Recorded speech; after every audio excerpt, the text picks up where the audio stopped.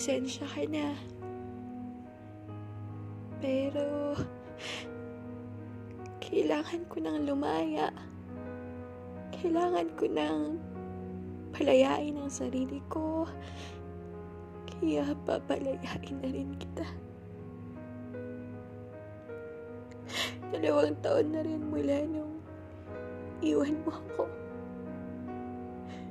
Mula nung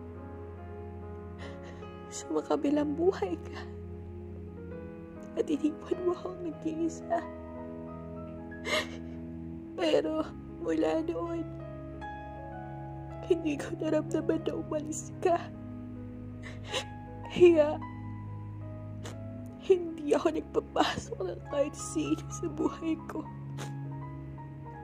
Dahil alam kong nandyan ka. Pero mahal, papalayain na kita para lumaya na rin ang puso ko.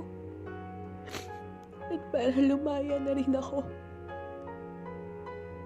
Mahal. Mahal na mahal na mahal kita.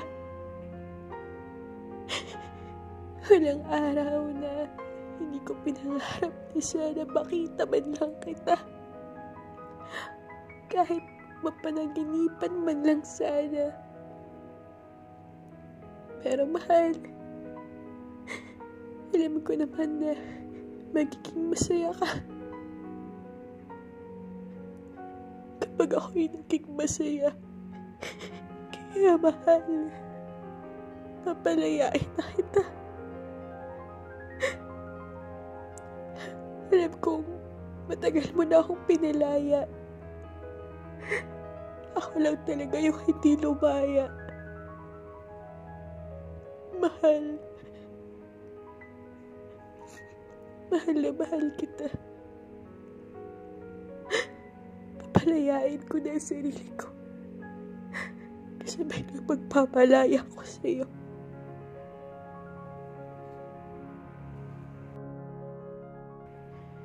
Hindi madaling kalimutan ang alaala ng mga mahal natin sa buhay na nauna na.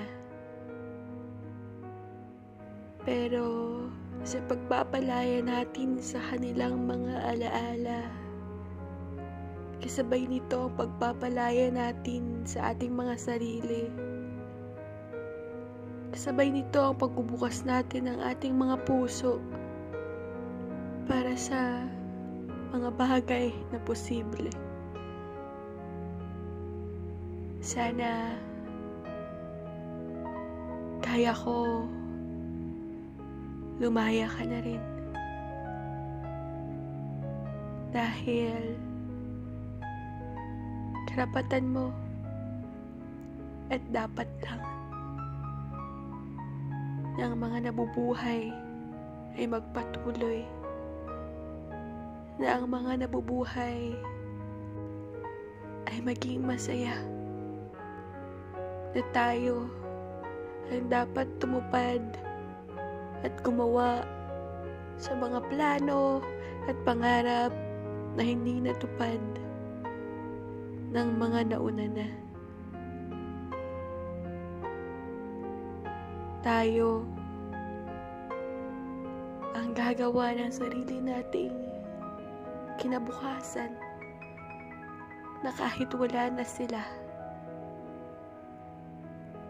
yung alaala nila, yun yung magsisilbing inspirasyon natin para magpatuloy.